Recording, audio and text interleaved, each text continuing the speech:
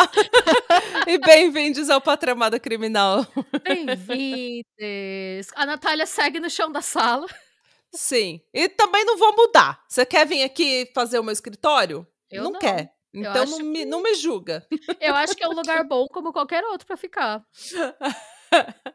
o bom de você estar no chão da sala é que às vezes, quando dá uma depressão, você já deita e chora depois do Você episódio. tem até uma mantinha aí É, atrás de tipo, você. só pega e dorme, sabe? Tipo, foda-se. Nice. É. Bom,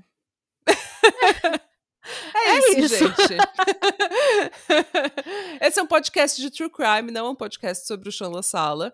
Nós É. estamos aqui no YouTube todos os domingos de manhã e às segundas-feiras, todos as segundas-feiras de manhã no Spotify, no Deezer e em qualquer agregador que você encontra seus podcasts. Então confere a gente e já se inscreve no canal, dá um like, comenta, faz o que você precisar fazer para ajudar a gente. Por favor, gente, é tão rapidinho e é de graça. É de graça. Free 99. Bom, gente, eu- eu- a gente trouxe essa semana um caso pesado.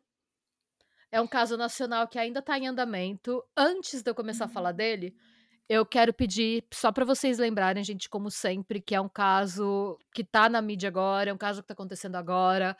É, a gente não sabe, mas pode ser que a família veja, então a gente vem pedir o respeito de sempre nos comentários, tá?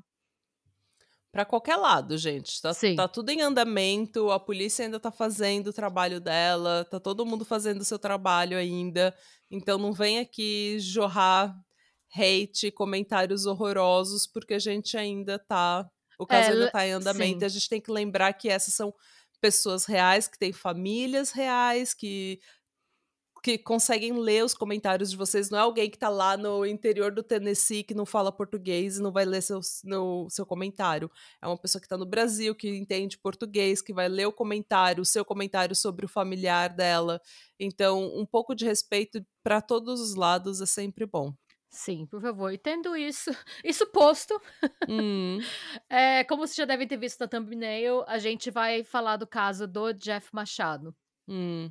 Que é um caso que, assim, ele tá muito na mídia. Como ele tá muito na mídia, toda hora sai alguma coisa nova. E eu imagino que pra vocês que estão vendo meio por cima, deve estar super confuso.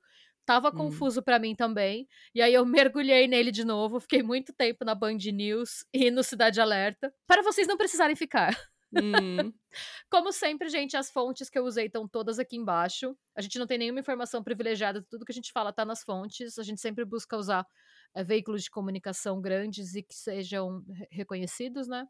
Então, se vocês tiverem algum problema com as informações que te passar, ou se alguma coisa não for real, vocês podem, fiquem à vontade para falar nos comentários, mas vamos lembrar que a gente não tirou nada da nossa cabeça, tá? Só isso posto Hum. também, esse disclaimer número dois. Vamos lá. Ah, Quem é o Jeff Machado, né?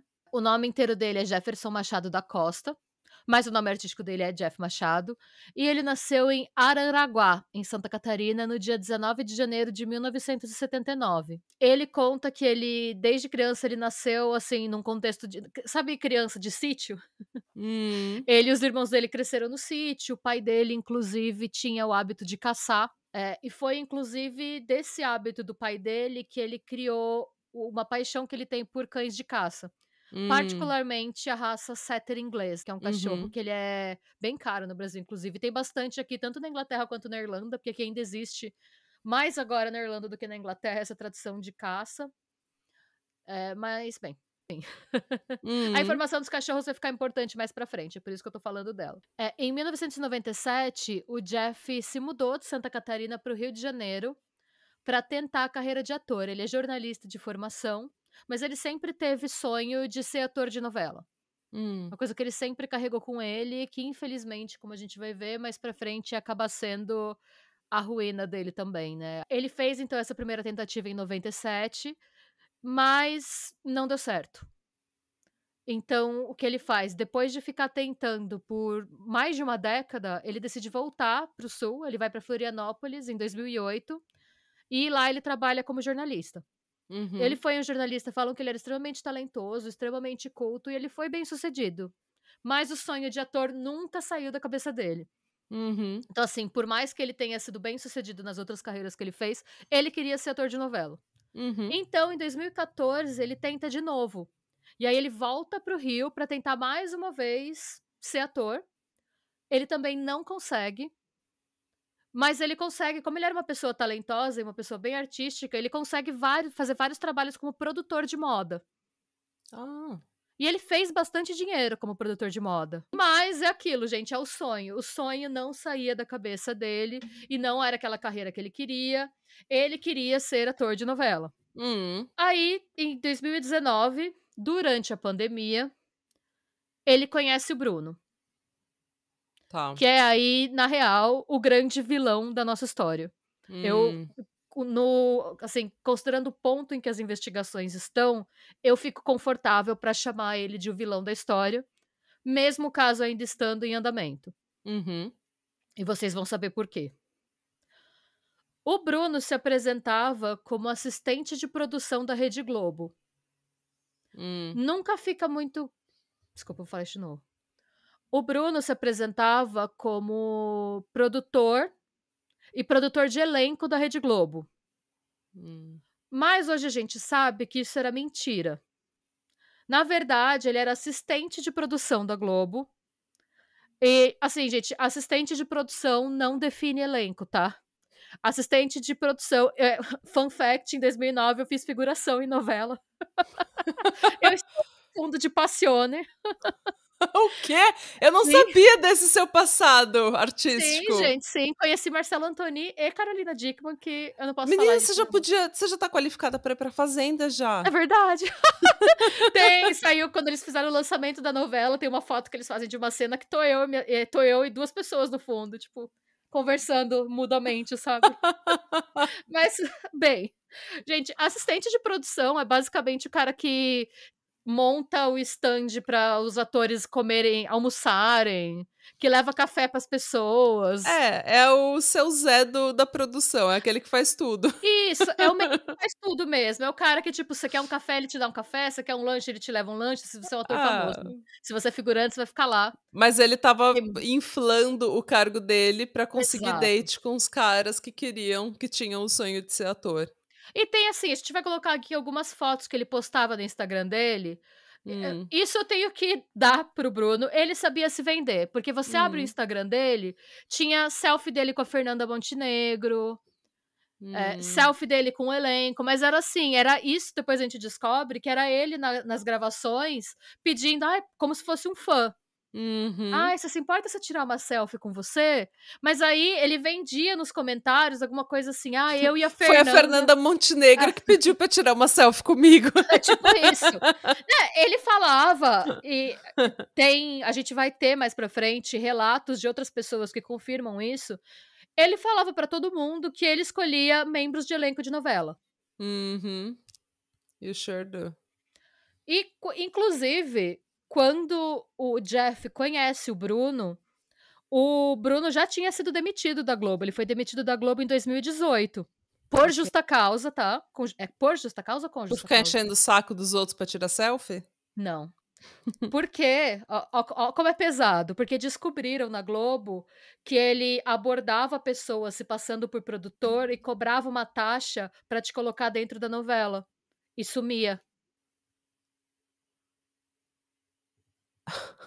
A falta de caráter. Sim, meu tem, inclusive, a gente vai colocar um trecho aqui. O... Eu não tenho certeza ainda como a gente vai fazer na edição. Talvez eu coloque aqui, talvez eu coloque no teaser. Mas tem depoimento de outros atores que sofreram o mesmo golpe que o Jeff sofreu. Eu também sou ator desde os 15 anos de idade. É, também compactuo do mesmo sonho que o Jeff. E aí eu conheci o Bruno. Quando a gente tem um sonho, a gente fica um pouco cego. E o chefe ficou cego. E eu, quando caí nesse golpe, também fiquei cego. Ele se vendia muito mais poderoso dentro da emissora do que ele realmente era. Isso já era uma tática para tentar persuadir o artista, para tentar persuadir o ator que tem aquele sonho. Então daí já era uma estratégia, né? É, Quando ele via que você acreditava nessa estratégia, ele começava a investir em você sexualmente. E aí, conforme você ia autorizando de certa maneira, com essa cegueira do sonho genuíno do artista, né? ele ia avançando. Porque foi Gente, esse. Isso é tão, isso é tão é, predatório, sabe? Porque você tá brincando com o sonho das pessoas, gente. Pra quê? Sim, É- ele é- prometia e ele tinha uma lábia, ele sabia se vender. A gente vai ver, porque Hum. ele, ele era bem. Ele era meio que uma Ana Delvey, só que pior, sabe? Hum, Ele vinha com a lábia e ele falava, ah, é porque é, você acha que, na verdade, as pessoas são escolhidas por casting? Não são, na verdade, todo mundo paga. Só que ninguém fala, depois que, eles- depois que os atores estão famosos, eles não falam que eles pagaram, mas todo mundo paga pra entrar. E aí ele chegava pra você e falava que pela bagatela de 20 mil reais, você poderia ter um papel na novela também. E daí ele pegava seus 20k e sumia. Sim. E ele fez isso com várias pessoas, se passando por produtor de várias novelas diferentes, de várias emissoras diferentes, inclusive. Porque o que, que ele fazia? Ele ficava de olho em. Sabe notícia de site de fofoca? E em Uhum. notícia de site de televisão? E aí ele via, por exemplo, Fulano de Tal anuncia nova novela na Record com o tema tal. E aí ele começava a se apresentar como produtor. Ah, você não tá sabendo? Vão começar a gravar a novela tal. E eu tô na parte de produção de elenco. E aí ele falava e se vendia. Como ele tinha algum conhecimento de televisão, porque ele trabalhou numa emissora de fato, ele vinha com jargão. Quando ele falava que ele era da Globo, ele mostrava o crachá. Hum. Que se ele fosse tentar entrar, o crachá não passaria. E provavelmente havia um segurança que com a bunda dele. Mas ele se vendia. E você abriu o Instagram do cara, tem o cara, tipo, com foto dele no trabalho, foto dele com cara de pensativo no Projac. Então, assim, se você tá naquela fase de desespero, Hum. você que... junta o fato de você querer acreditar com o Miguel ser bem feito, sabe? Uhum.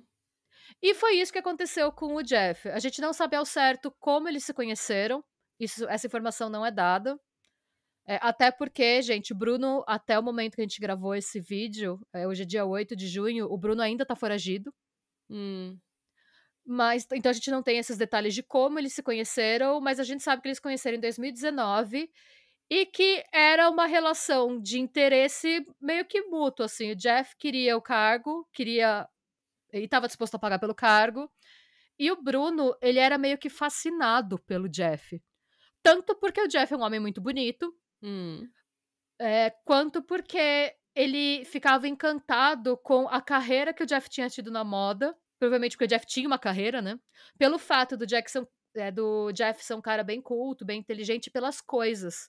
Então, assim, dos tempos de produtor, o, o Jeff, ele morava numa casa bem grande, na zona oeste do Rio, e ele tinha um quarto, por exemplo, que ele só tinha, tipo, artigos de couro, que ele fez de, é, ensaio.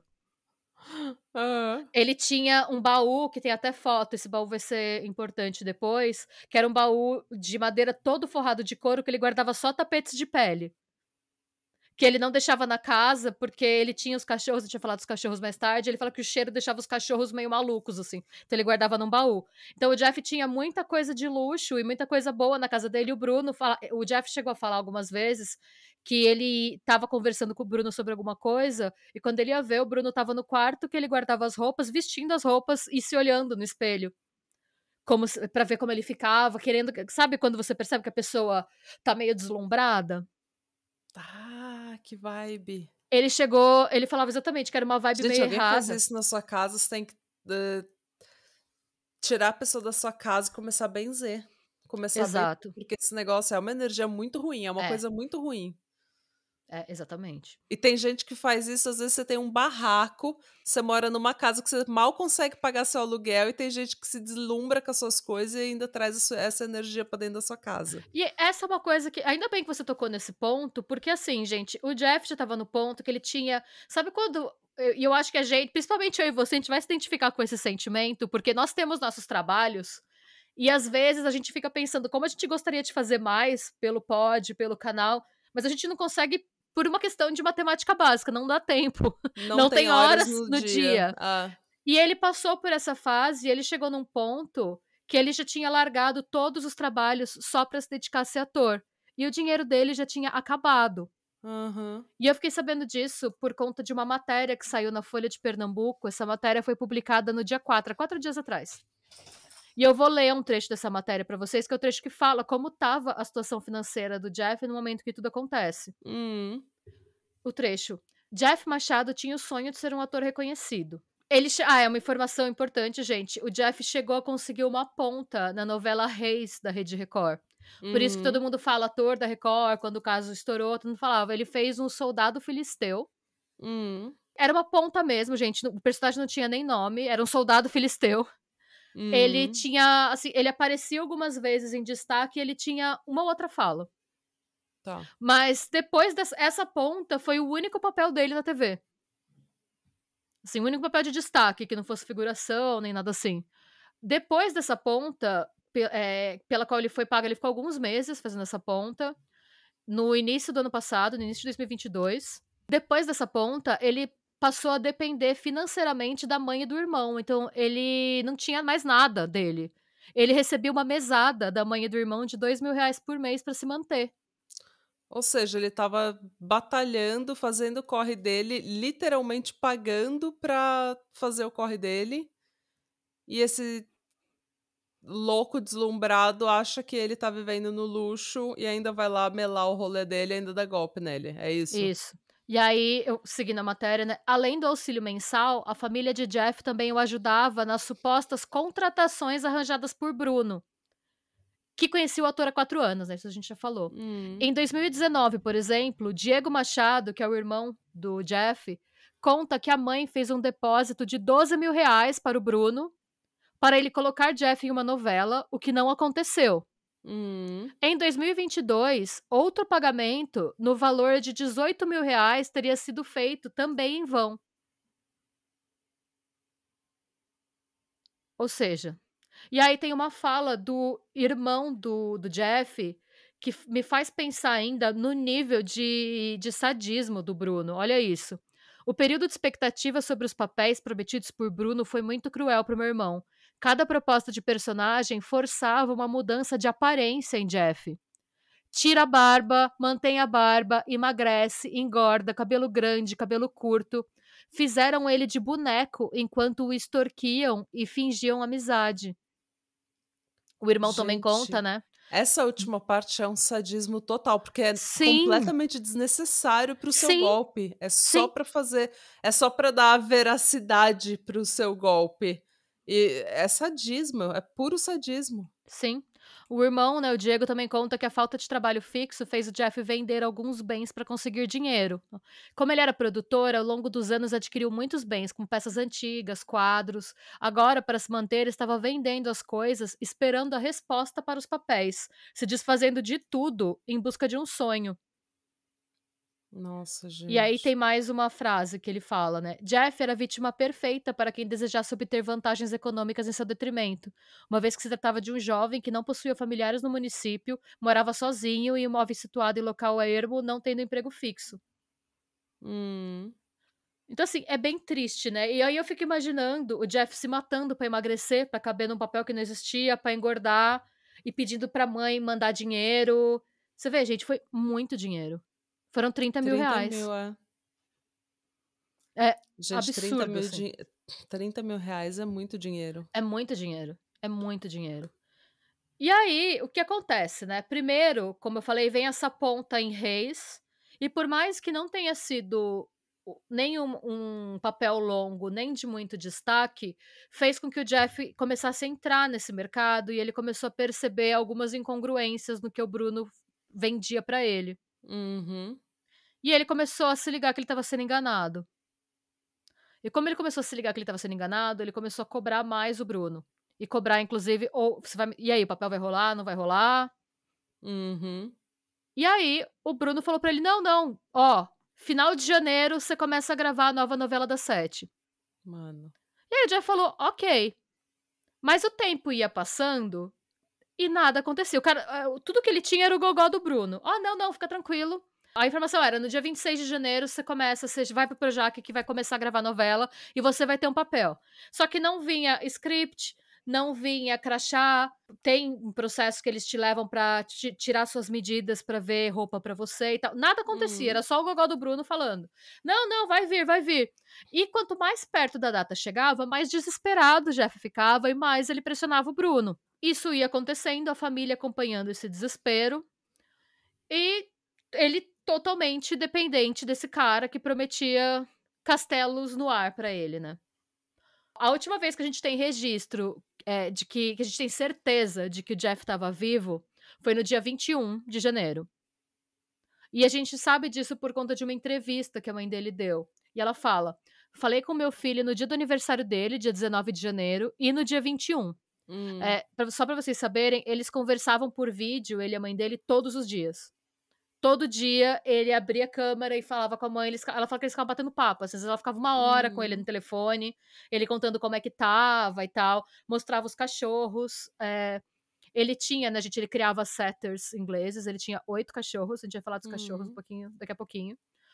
Então, ela tem certeza que era ele até o dia 21, porque ele abriu a câmera e falou com ela. Hum. E aí ela conta que a partir do dia 23, eu ligava pra ele e ele dizia: "Não posso falar, mãe".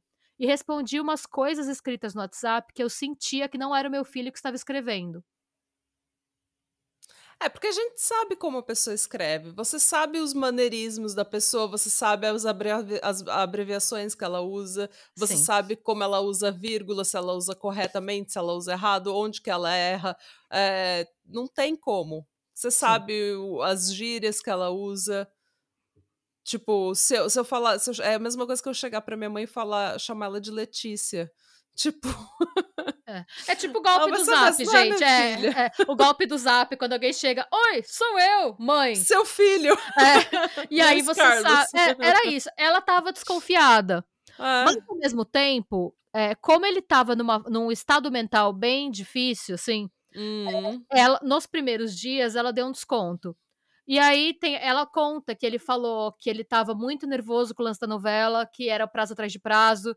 Ele estava preocupado, porque ele falou: Eu já tô com 44 anos, se não for agora, pode ser que não seja mais. uhum. Vai ser mais um aniversário de merda que eu vou passar. Ele falou assim: um aniversário de merda que eu vou passar, é, esperando uma coisa que não vem, eu não tenho vontade de fazer nada.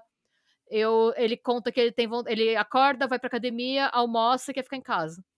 Então, ele não tava bem, ele tava um pouco deprimido. E quando ele falou que não Uhum. podia falar, ela entendeu. No É. começo ela achava que ele podia não estar bem, e depois ela pensou, ai, de repente, sei lá, às vezes deu certo a novela.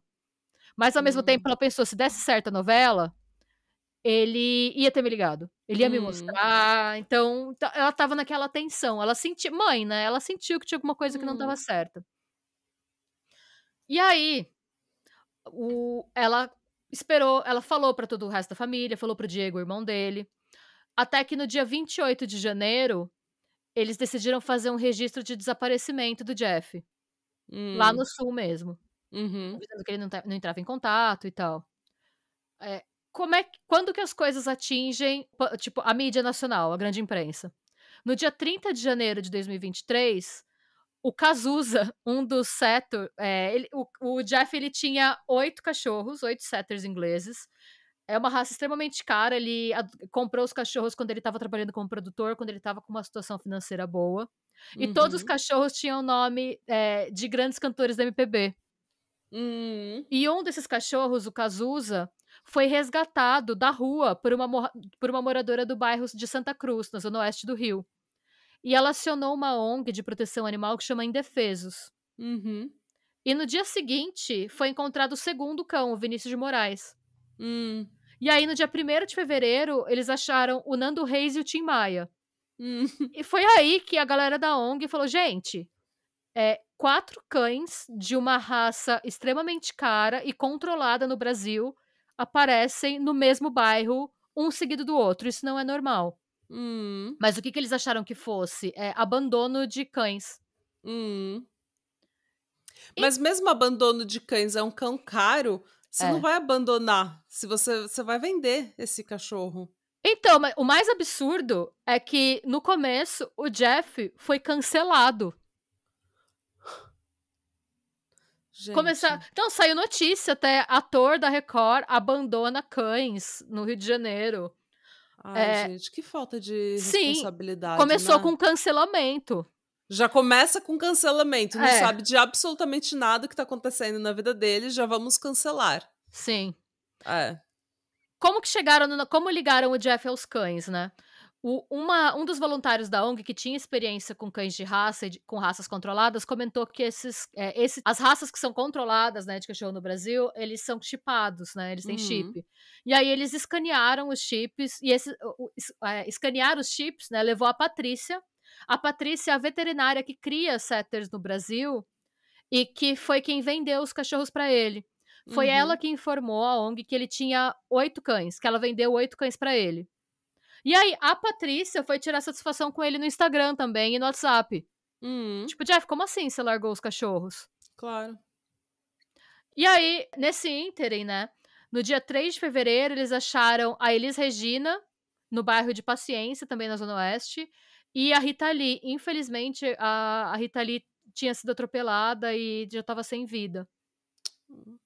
No dia 4 de fevereiro, apareceram o Caetano Veloso, que estava em Campo Grande, também na zona oeste do Rio, e o Caetano Veloso estava muito machucado e não sobreviveu aos ferimentos.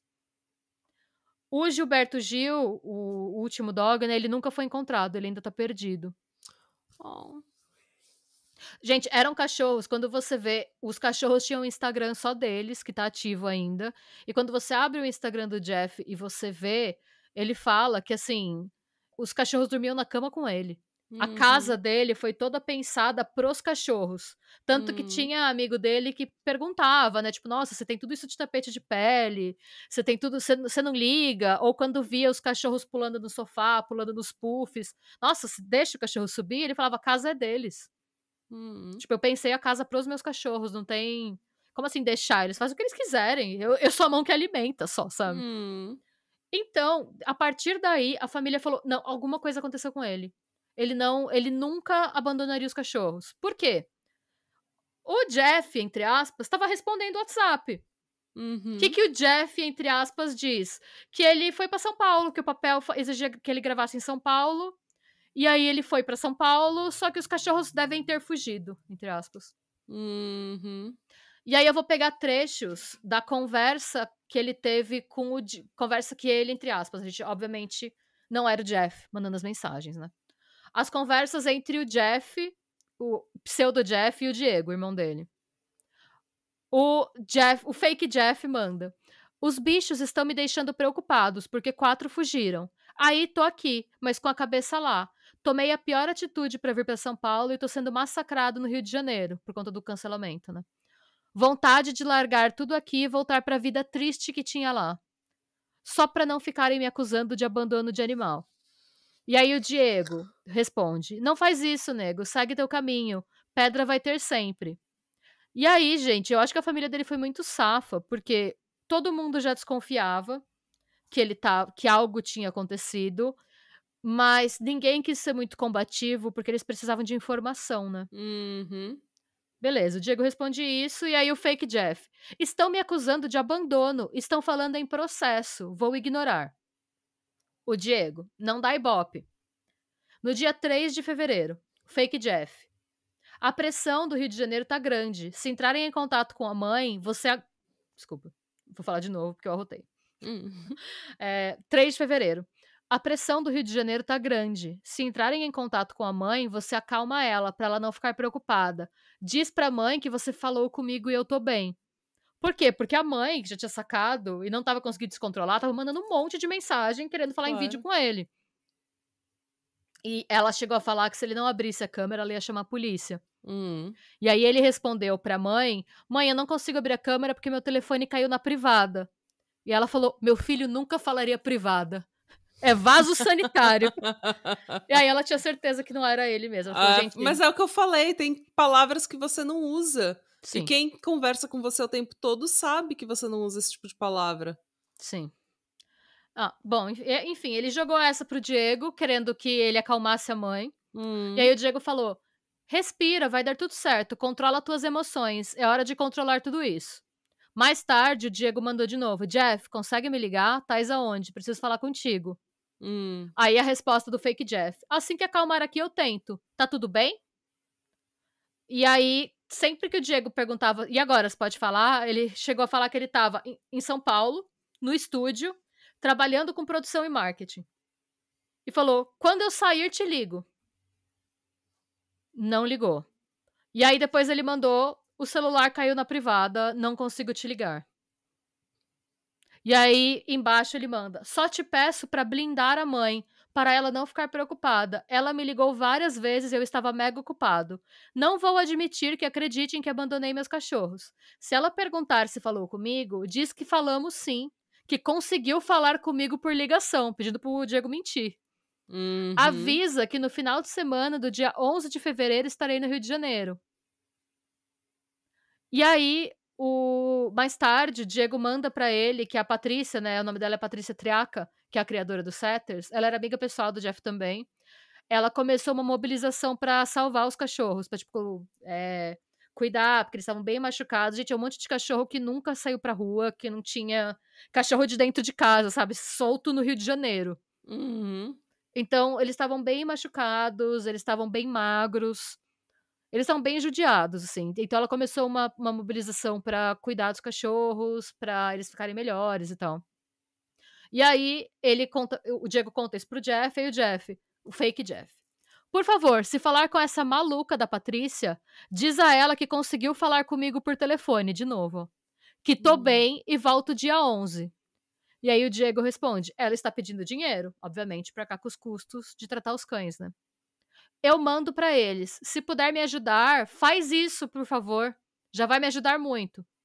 O Diego paga 800 reais pra Patrícia e fala pro fake Jeff pagar ele de volta. Hum. E aí o Diego vai falar com a Patrícia, ele vai até o Rio e ele vê o estado dos cachorros, ele fica muito bravo e ele fala, gente, se ele ainda tinha um pouco de esperança de ser o Jeff, e ele pensa, se o meu irmão fez isso, ele vai tomar um, um esporro, assim. E aí ele manda mensagem pro fake Jeff. Estão perguntando se tais normal. Só falo contigo se me ligar. É sério, eles não estão brincando. ONG envolvida. Se não der satisfação, eles podem ir na sua casa. Você está jogando tudo fora. Elas dizem que tem provas que você abandonou os cães. Isso é verdade? Não deixe a mãe saber de nada. Não quero ela mal. Não quero ela passando mal por minha causa. Foi a resposta. Hum. E aí o Diego manda: Jeff, já deu. Quando puder, me liga. Teus cachorros nessa situação e você aí, eles querem te pegar. Acabaste com a tua carreira. Jeff não. Fake Jeff não responde. E aí o Diego tenta de novo. Jeff, por favor, cara, o que você quer da gente? Pra nem dar satisfação, até amanhã, se você não ligar, vou acionar a polícia. Uhum. E aí a resposta foi: deixa o telefone tocar, eu vou sair e vou te ligar, prometo de verdade. O Jeff nunca ligou e, mantendo Ué. a promessa que ele fez, o Diego acionou a polícia Hum. e fez um BO na polícia do Rio de Janeiro falando do desaparecimento, né? Uhum. Nisso, uma outra pessoa, de repente, começa a entrar em contato com a família. Oi, gente, eu sou o Bruno, amigo do Jeff. É, ele foi pra São Paulo, eu não tô lendo, ele falou mais ou menos assim, tá? Ele foi pra São Paulo e ele deix- é, me deixou encarregado das coisas dele. Então ele me deixou com os cartões de banco dele, com a chave da casa dele, e eu tô responsável por, por olhar os cachorros e tal. Vocês precisam de ajuda? O Bruno chega a receber a família. Simulado. É, ele abre a porta da casa do Jeff pros, ir- pro irmão procurar. Pro irmão olhar na casa se tem alguma coisa diferente, se tá acontecendo alguma coisa. Tipo, o Bruno abre a porta. Mano. Eu vou colocar um trecho dessa filmagem aqui, porque o Diego já chega com o celular filmando. E quando o Diego tá. E no começo o Bruno não vê, porque o Bruno tá na frente, né? E quando o Bruno tá abrindo a porta e ele olha e ele percebe que o Diego tá filmando, você percebe que ele fica extremamente desconfortável. Hum. Assim, de abaixar a cabeça, assim, tipo. Bom, gente. Eles inspecionam a casa, não acham nada. A polícia tá investigando. A polícia chama o Bruno pra depor, porque assim, gente, vamos ser muito, assim, pensando no senso comum. Quem que vai pra São Paulo e deixa todos os cartões de banco com uma pessoa que não é seu parente, que não é nada seu? A chave da sua casa, seus cachorros que você ama, E aí na a polícia mão de uma pessoa. Não. É isso. É, a polícia começou a investigar e a polícia viu, por câmera de segurança do bairro, o Bruno colocando os cachorros no carro e levando os cachorros embora. Outra coisa que a polícia viu também foram as tentativas do Bruno de vender o carro do Jeff. Se passando pelo Jeff, tentando assinar como se fosse o Jeff. Ele foi filmado numa concessionária tentando vender o carro por um preço muito abaixo do normal. Ele também tem registro do cartão de débito do Jeff sendo usado para limpar a conta dele. Depois, dias depois, já em fevereiro, depois do último registro dele vivo. Tudo isso foi suficiente para eles interrogarem o Bruno. Eles interrogam o Bruno, o Bruno continua com a historinha de que não, não, ele tá, ele foi para São Paulo, me deixou com os cartões, me deixou para cuidar dos cachorros e os cachorros fugiram. Uhum. E aí quando falaram que ele que ele foi pego na câmera colocando os cachorros lá, ele voltou atrás e falou que na verdade ele levou os cachorros para um pai de santo amigo dele cuidar. O pai de santo confirma que ele recebeu os cachorros, mas ele falou que os cachorros começaram a incomodar os vizinhos e que ele só abriu a porta e soltou. Pois é. Hum. Seguindo a trilha do, do a, a, a, paper trail, né, a trilha de papéis, a trilha de recibos e tal, eles chegam numa kitnet é, que foi alugada pelo Bruno em dezembro do ano passado. Mas o Bruno alugou se passando pelo Jeff. A dona da kitnet confirmou que era o Bruno pela foto, que foi o Bruno que alugou dela, que pegou a chave com ela, mas ela disse que o Bruno procurou ela pelo WhatsApp, pelo anúncio, dizendo que ele se chamava Jeff, que ele queria alugar a kitnet. Gente. E por conta da kitnet, e por ver, inclusive tinha registro, o Jeff chegou a visitar o Bruno naquela kitnet em algumas ocasiões. Hum. Porque eu tô descobrindo agora que agora todo lugar, quando eu saí do Brasil não era assim, mas atualmente quase tudo tem câmera de segurança, tem câmera de segurança em todo lugar, assim. Amém. Então eles chegam, chegam a ver o Jeff no final de 2022 passando pela kitnet para falar com o Bruno, buscar o Bruno, whatever.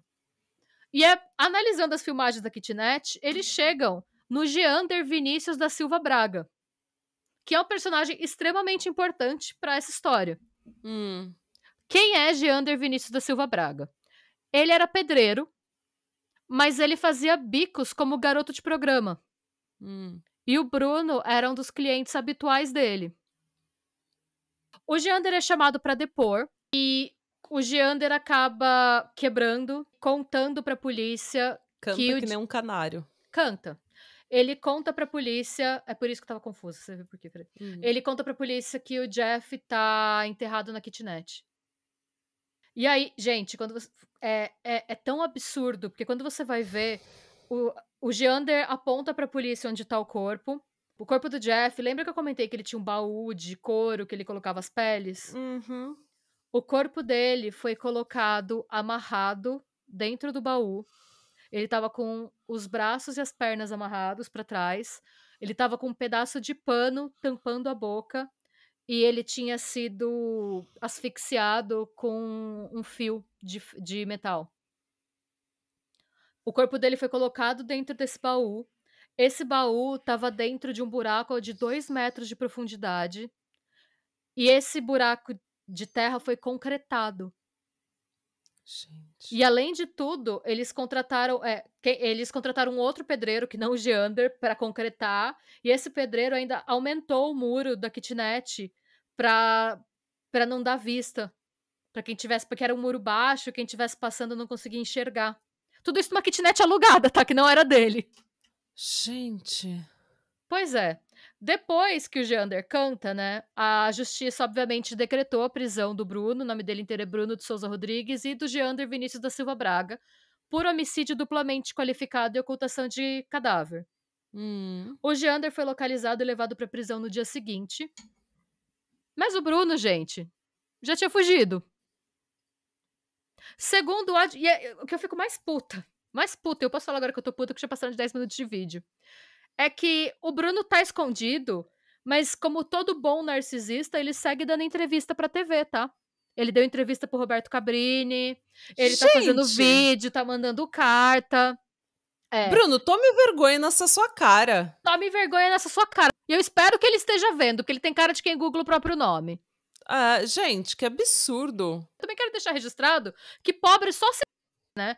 Porque quem armou a toda tá escondido, não foi preso e o, o Geander, que, tipo, que não teve, que, tipo. É um pedreiro. Alguma, ele, é, é. Não, ele teve alguma participação, se ele não é totalmente inocente. Não, claro. Mas não, mas não foi o mandante. Não foi. Tá lá, tá preso. Hum. Mas é, é, é isso. O Bruno tá. No começo chegaram a cogitar que o Bruno tivesse fugido do país, que ele tem passaporte português. Mas ele hum. tá escondido pelo Rio de Janeiro. O advogado do Bruno diz que, na verdade, não é que o Bruno está foragido.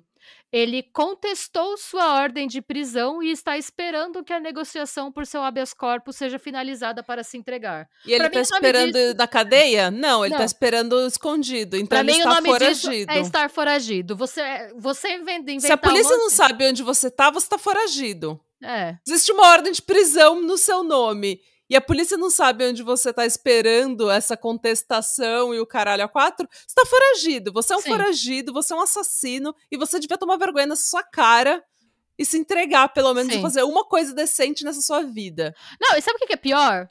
A pressão É, já subiu, já. É. Não, e aí o Bruno quer dar. Ele fala, ele fica dando entrevista e falando em todo lugar pra dar a versão dos fatos dele. Ah, Que é uma fanfic ridícula. Gente, sério, é uma fanfic tão ridícula. Eu vou contar pra vocês e vocês vão ficar tão. É por isso que eu tô tão pistola. O que, que o Bruno conta que aconteceu, tá?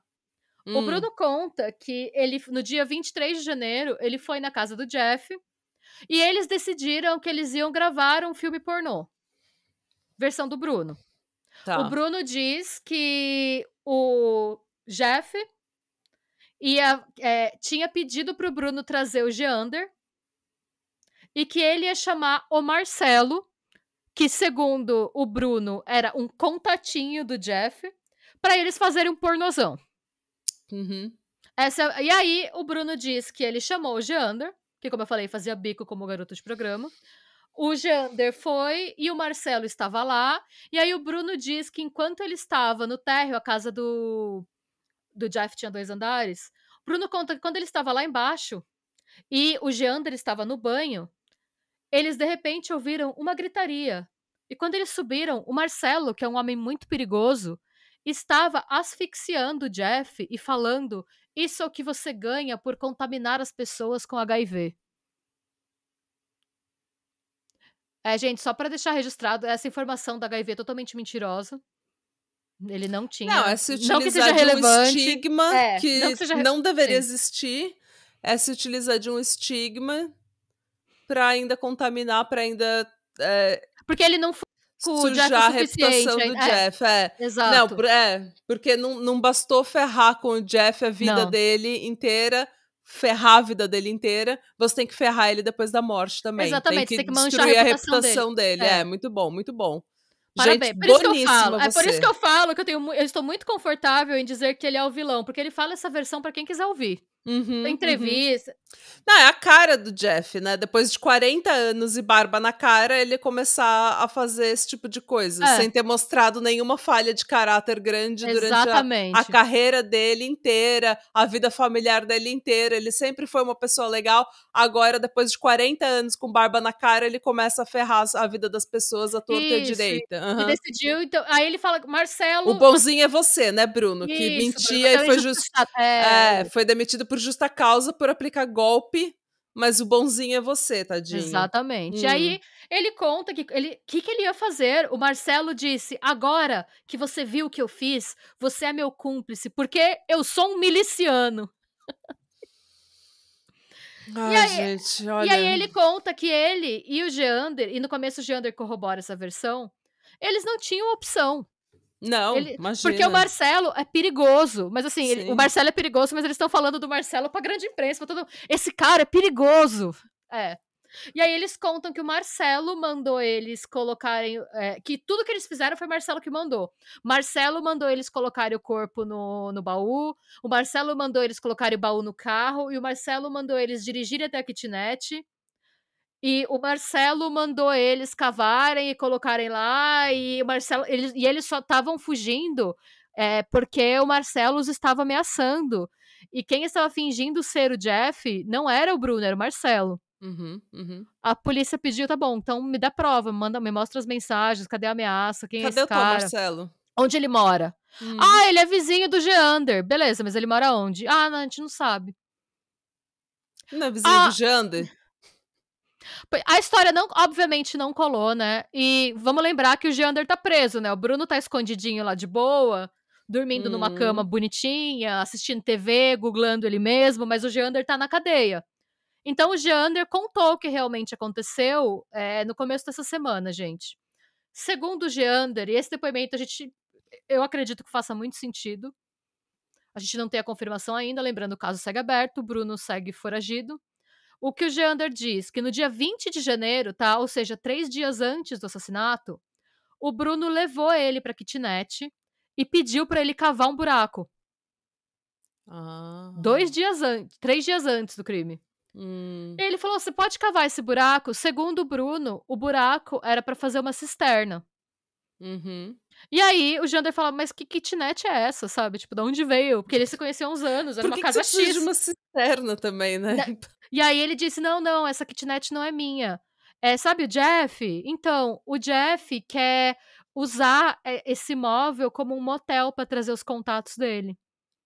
O que não fazia sentido nenhum. Ele tem uma casa de dois andares ótima, com os cachorros dele, com os negócios de luxo dele, ele vai levar os homens pra uma kitnet. E é um homem solteiro, por que, que ele vai. Não, não, não quero que de- ninguém veja a minha casa vazia. Eu vou levar as pessoas para essa kitnet de baixo padrão na zona oeste do Rio de Janeiro, sabe? Eu mal consigo me sustentar porque eu tô dando todo o meu dinheiro pro meu sonho. E agora eu vou vou alugar uma uma kitnet kitnet. só pra. f- É.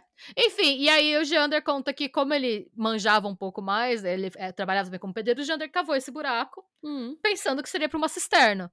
Até aí, hum. ok. E aí ele conta que no dia 23 de janeiro, o Bruno disse pro Geander realmente que eles iam gravar um filme adulto. Uhum. E ele conta que o Bruno preparou um suco pra todo mundo.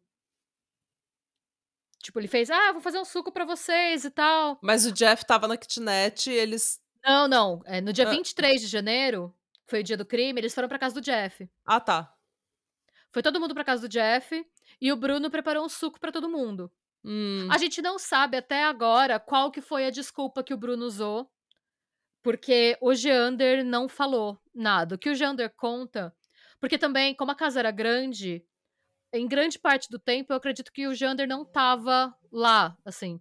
O Geander conta que o, o Bruno pedia muito é, documento do Jeff. Ele falava que era pra tirar cópia e entregar na emissora, que a Globo tava pedindo. E que o Bruno parecia que tava um pouco nervoso. hum. Mas que o Bruno serve um suco pra todo mundo e que o Jeff reclamou que o suco dele tava amargo. E o Bruno falou: Ah, deve ser porque eu não adocei, pois o adoçante entregou de volta. Só que o Jeff ficou grog depois de tomar o suco. A gente Hum. não sabe ao certo se teve. é, porque o Geander conta que ele e o Jeff tiveram relações sexuais. Tá. E o corpo do Jeff foi encontrado nu. Mas a gente não tem certeza se é verdade ou não, porque o Jander conta que depois do sexo, ele foi tomar um banho. Uhum. E que quando ele sai do banho, ele vê o Bruno já com o fio no pescoço do Jeff, pedindo as senhas do cartão dele. Putz. Como se estivesse torturando ele, sabe? Hum. Por que, que eu fico na dúvida? O Geander fala que ele foi achando que eles fossem gravar um filme pornô. Hum. E o Geander conta que teve sexo. Mas não tem nenhum registro de filme nenhum. Então a gente não sabe nem se essa história é verdade ou não. O Geander Hum. usa o banho como argumento pra ele não saber qual foi o momento que ele fala que ele não sabia de nada, que ele foi lá Porque pra daí ele é só acessório do crime, não o assassino. Não Hum. dá, é, não dá pra gente confiar 100% na versão do Geander, porque Não. seria muito conveniente, né? Eu imagino, pensando do ponto de vista do assassino, e pensando que o Jeff é um cara saudável, que treina, eu acho que mesmo o Grog, o Jeff conseguiria derrubar o Bruno. Ah, Então eu não sei se o Geander não ajudou, sabe? Porque uhum. essa história do filme pornô, pra mim, não tá colando. Não, não orna com o que a gente sabe do Jeff. Por que, que o cara que. O Jeff morreu achando que ele fosse começar uma novela no dia 26? Uhum. Por que, que ele ia fazer um filme pornô agora? Uma coisa que poderia. Sujar, entre aspas, a carreira dele de ator. E por que, que um cara que acha que vai, vai entrar na Globo em três dias vai arriscar fazer um vídeo pornô? E não tem registro nenhum de vídeo nenhum, sabe? Nada foi filmado, nada foi montado. Então, eu acho que o Jander também tá mentindo pra salvar a própria pele. Então, basicamente, eu acho que ele tava lá que ele ajudou. Eu acho que ele cavou lá sabendo que ele ia cavar, mas eu acho que na cabeça dele ia dar tudo certo. Porque, tipo, se o Bruno é um golpista profissional, o que aparentemente ele é, o que vai dizer para ele, o que para mim isso significa que ele pode dar o golpe no Gianderson também. Sim. Como que é o nome dele? Giander. É o Giander. Entendeu? Então, para mim, é tipo, é, gente golpista normalmente é extremamente manipuladora, extremamente charmosa, sabe o que dizer, sabe exatamente o que falar para te colocar numa situação. E daí, uma Sim. hora que você já tá naquela situação, você tem que. O que, que você vai fazer? Você tem que terminar o serviço. É. Então, pra mim, eu não acredito que ele tenha sido mastermind, mas eu acho que ele já sabia, ou que ele falou que ele foi tomar banho só pra dizer que ele não estava lá na hora do assassinato, ou seja, ele é só acessório pro crime, mas não exatamente o Mas aí eu fico pensando o assassino. se o Bruno matou ele com o arame, quem pôs a meia na boca dele? Pois é. Porque não dá, é meio difícil fazer a mesma coisa.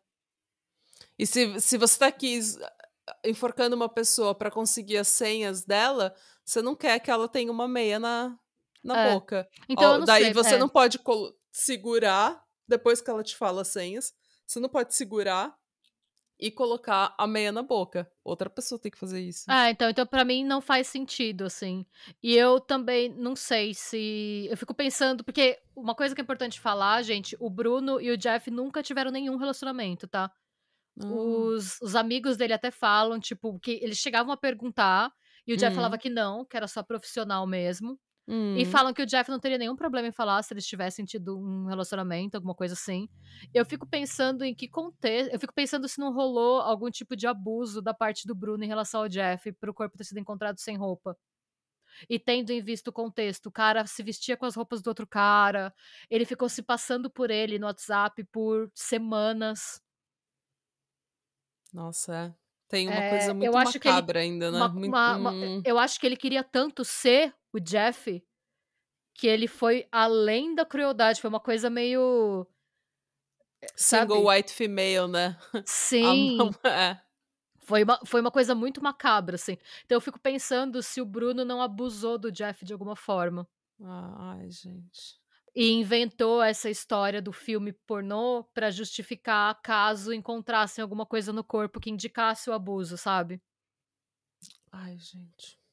Porque eu acho que tinha, assim, uma coisa, eu acho que ele queria. Eu acho que o Bruno devia estar muito obcecado pelo Jeff. E eu duvido. é, Assim, eu não acho que seja uma coisa que ele não faria, mas assim, eu, só tô, eu tô só especulando. Como eu falei, não teve nenhuma confirmação de nada. Nossa, gente, que coisa horrível.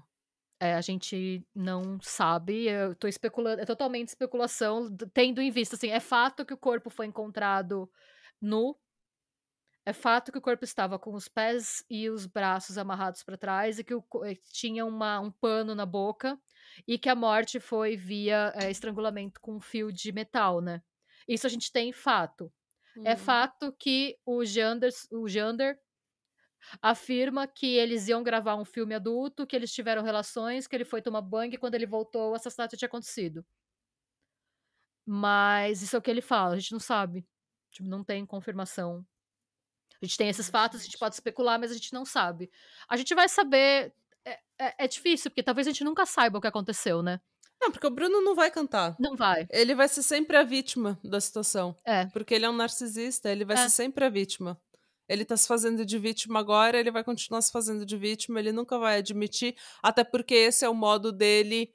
Se ele tava obcecado com o Jeff, esse é o modo dele ter o Jeff como propriedade depois pra- da morte. Pra sempre.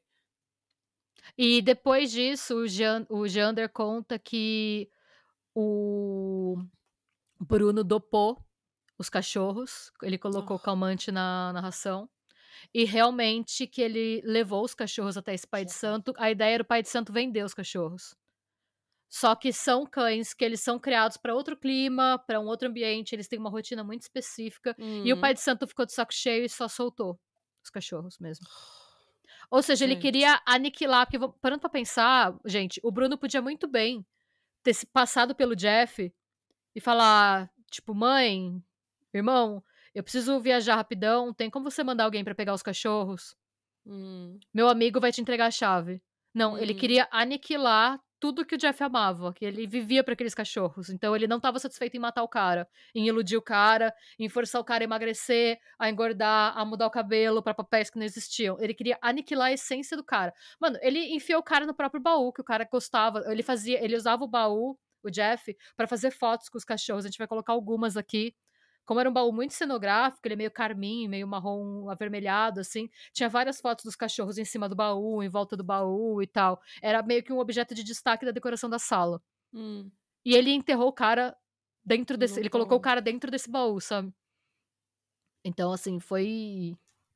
é, Não sei nem se Freud explica. Talvez Freud explicasse, mas Freud ia ficar meio horrorizado também.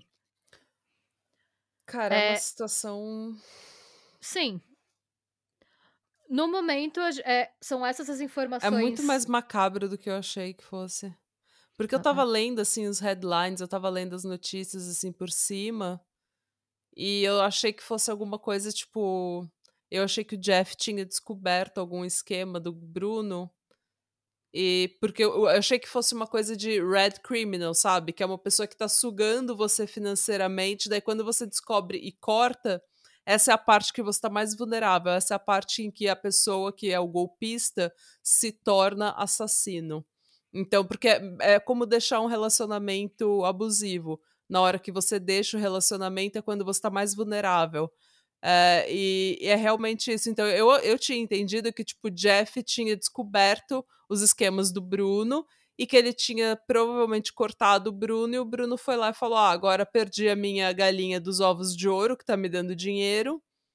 Então eu vou lá e vou matar ele. Mas eu não sabia que era tão macabro desse jeito. E que era uma coisa tão single white female, assim, uma coisa que a pessoa é obcecada pela outra. Gente, Single White Female é um filme, tá? Só pra vocês saberem. Como que é o nome no Brasil? A mão que balança o berço? Não. Ah, não sei qual é o nome no Brasil. Balança o berço é outra. É uma que a mulher, ela quer, deixa eu ver, rapidinho. É uma que a mulher é, encontra uma roommate e a roommate quer adotar a vida dela, gente. Mulher solteira procura. Vixe. É. É assim, é... é. é bizarro, porque o Jeff morreu acreditando que em três dias ele, ele estaria realizando o sonho dele. Nossa, gente, é... É, parando pra pensar do ponto de vista, assim.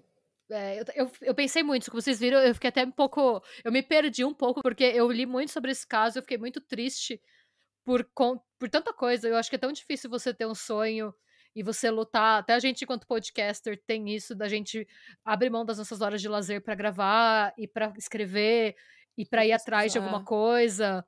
E aí a gente. É o tipo de coisa que a gente acha que não acontece com a gente até que acontece, sabe? Hum, Então, assim, por um lado, é, é muito difícil. Talvez a gente nunca saiba qual foi a motivação real, porque a polícia tá indo pela linha agora de que foi um crime financeiro, de uhum. que eles tinham medo, o Bruno, né, no caso, tinha medo de que o Jeff denunciasse o esquema dele e com- que com isso ele perdesse a fonte de renda. Mas, por outro lado, eu não acredito tanto nessa linha porque o Bruno vivia de dar esse, de dar esse golpe nas pessoas.